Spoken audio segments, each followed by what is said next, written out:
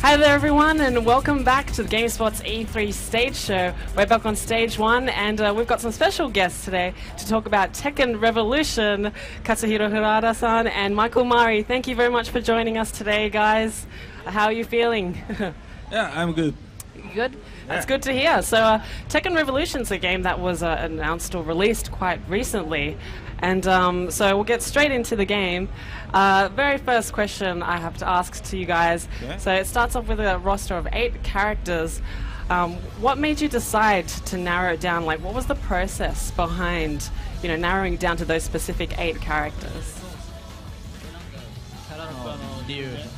そうですね、えっとまあ、まず今回、えーまあ、非常にアーケードライクなゲームを作ろうということで、えー昔、みんながゲームセンター行った時に あった鉄拳みたいなイメージで作ってるんですけどあの最初からねキャラがもし20人いたらすごい迷っちゃったりとか初めてやる人、久々にやる人どれを選んでいいか分かんないと思うんで、えー非常に個性豊かで、えーそれぞれ、えーあのプレイスタイルねいろんなプレイスタイルの人に応じれるキャラクター8人を厳選したって感じですかね。Well, you know, uh, this time for Tekken Revolution, we wanted to create a more arcade-like experience. Uh, you know, the, the gameplay itself, but the character lineup. Uh, we chose to focus on eight because for people who are new to the series or people returning after a while, uh, there's a lot of characters to choose from. Then they might uh, uh, kind of have trouble to picking on one. But also, we wanted to include a variety of different characters, you know, different types of martial arts, each, each character being unique and distinct. Uh, so those are some of the factors uh, that went into the decision. Okay, now the game is currently exclusive to PlayStation 3, and I know Harada, you, you tweeted about difficulties with Microsoft in getting it on the Xbox 360 as well. Uh, with with the next generation consoles um, coming out quite shortly, are there any plans uh, to you know to bring it to other consoles and platforms in future?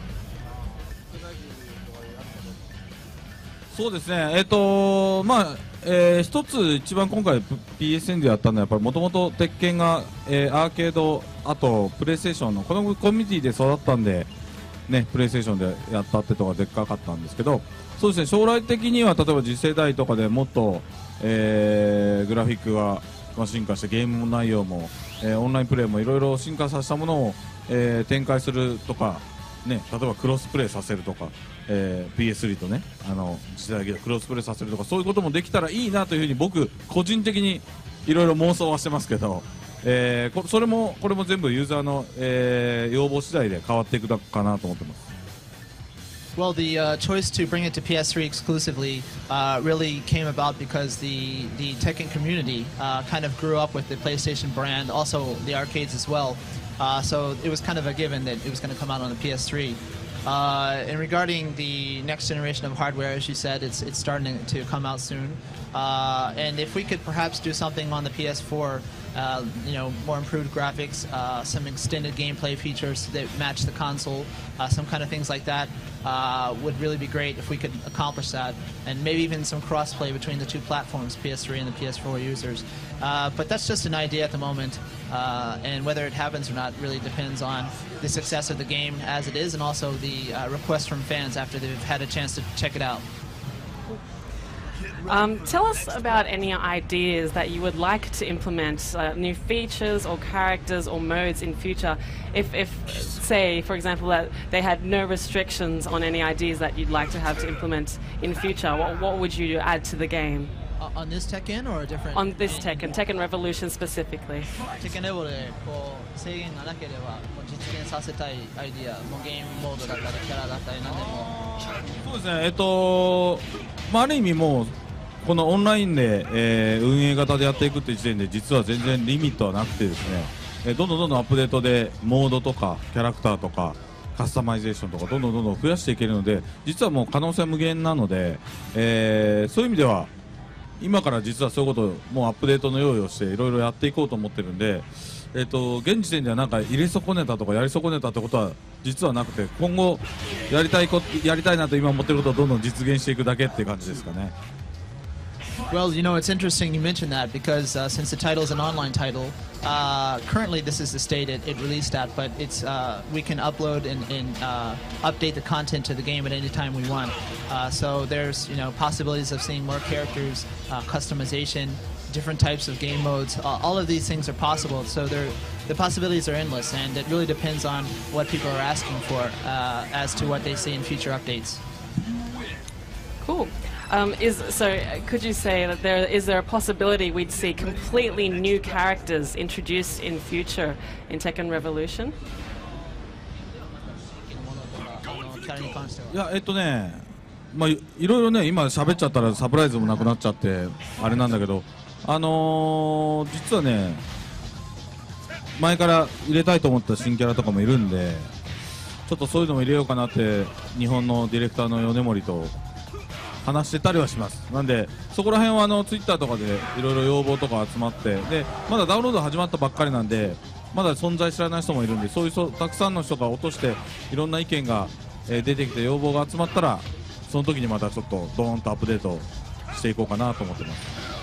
Well, you know, uh, we are making preparations for updates already, anyways, and uh, one of the ideas is for a completely new character, but uh, saying something right now would kind of uh, ruin the surprise for people uh, when that later occurs. So, uh, but uh, we we are talking to the director back in Japan, the development team, Yonemori-san, about this. Um, but right now, we just want to have as many people as possible download the title because it's free, and uh, to get as much feedback about what they want to see, because that will uh, be implemented, or there's a great possibility of that. So, uh, you know, we do have our ideas, but we'd like to hear uh, the ideas of the fans as well.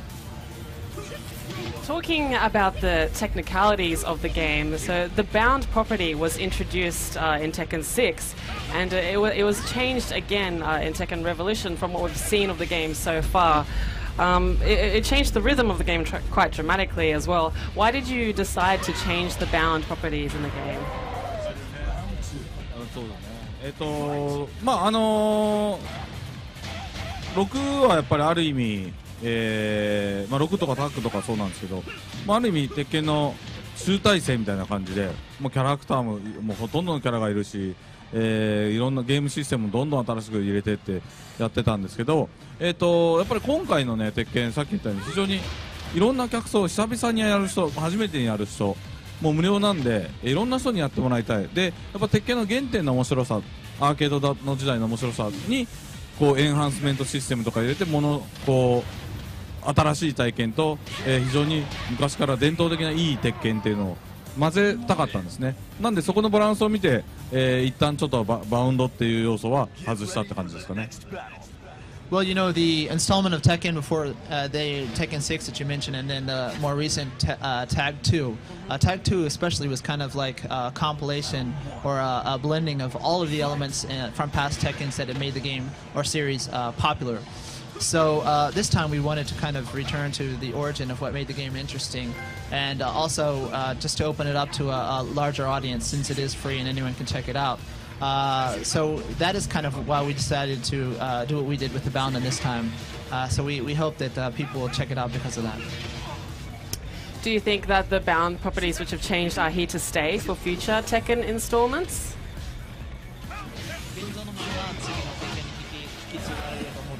いやえっ、とまだそのねどうしていくからは分かんない。例えばレボリューションレボリューションの中で進化していく可能性もありますんで、えー次回作っていうところまではまだ僕は考えてないですね。とにかく今レボリューションを面白くして盛り上げて、えーいこうかなというふうに考えてます。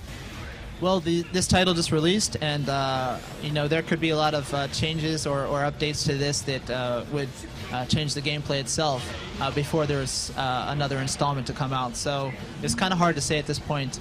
We hope mostly that we can do what we can to make this the most exciting Tekken, and hope that everyone will check this out first.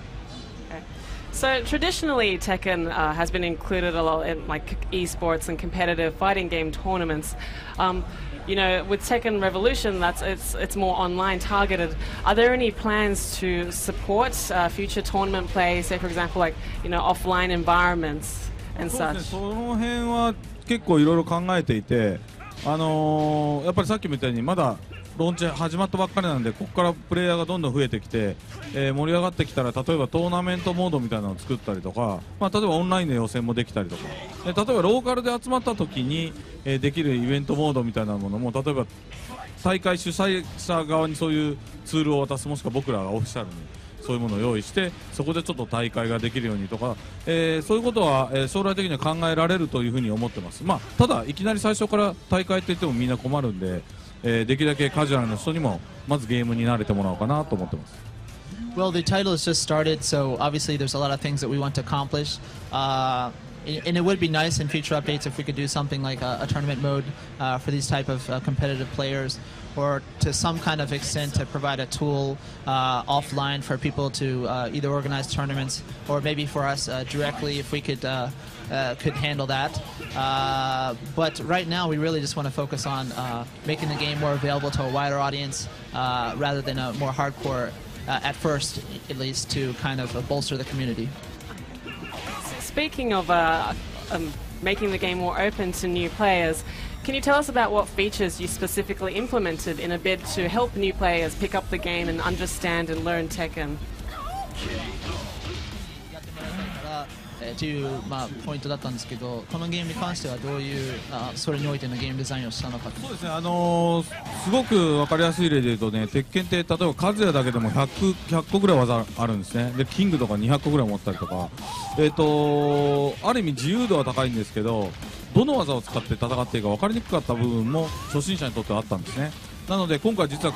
ポーズボタンかけかけてもらってコマンドリストを見てください。で1ページ目に書いてある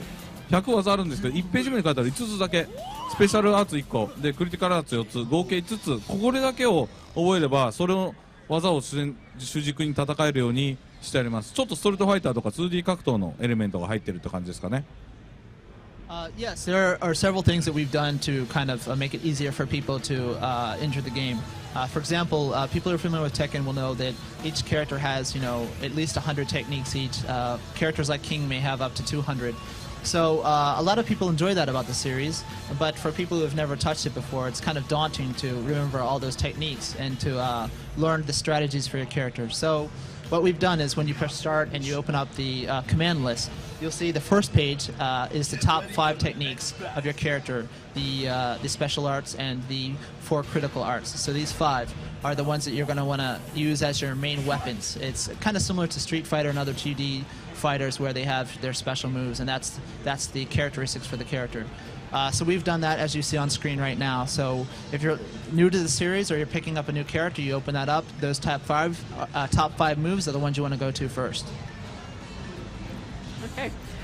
Now, um, the game deviates uh, a fair bit from the traditional Tekken formula, especially going free to play and uh, the way the game's set up. What inspired you in the first place to really, to really change up the formula and, uh, you know, go this route? パッケージビジネスじゃないというところで違う。いや要は今回フリートゥープレイになった。でそのきっかけは何だったのかと。まあ、そうですね、あのーやっぱりいくつかきっかけあると思うんですが、あの一つはねきっかけっていうか昔から、えー、とやっぱりアーケードゲームの面白さ、最近やっぱり欧米ではアーケードゲームというのがなくなってきて、アーケードって場所がなくなってきたんで、まああのゲームを購入せずにね。気軽に、えーちょっとこのゲーム遊んでみようかなっていう場所を作りたかったでそれをまあ仮想空間というところで、えー実現できそうだったんで一回やってみたいなって前から思ってたところとあとはやっぱり、えー最近ねみんな、えコンソールだけじゃなくてモバイルだとか PC とかのいろんなゲームの方にねフリーでできる方に、え行ってたりするんですけどなかなかコンソールにはアクションゲームでそういうフリーでできるのってそんなにないじゃないですかで鉄拳も、えー世界で初めてこういう形で実現できたんですけど、えーちょっとあのやっぱりコンソールでもあのモバイルとか PC でやってるような気軽にできるようなゲームを実現したかったっていうのがありますね。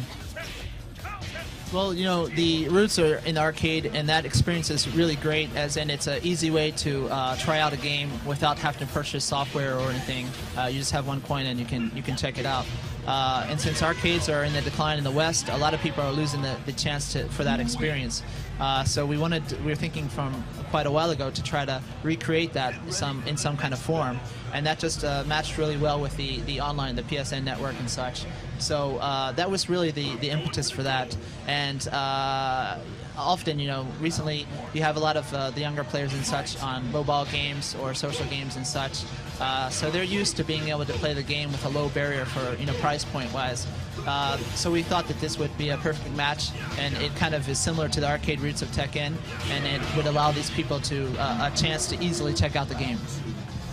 Cool. Well, unfortunately, that's all we have time for today, but we'll wrap this up now. Thank you very much for joining us on stream, Harada-san, and thank you very much, Michael Murray. Uh, next up, we have uh, the new Abe's game coming up, so be sure to stay tuned. We are live from E3. Uh, subscribe to us on Twitch as well to find out what's happening next up. Thanks very much, everyone.